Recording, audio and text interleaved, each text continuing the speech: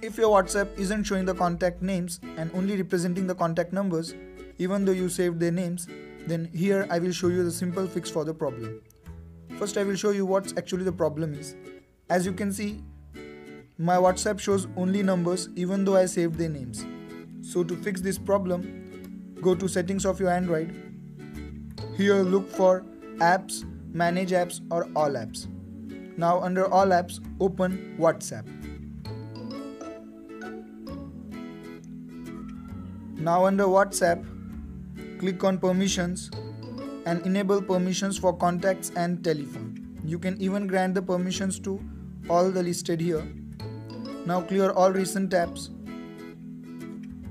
Again open WhatsApp and you will see that all your contacts are with the contact names you saved.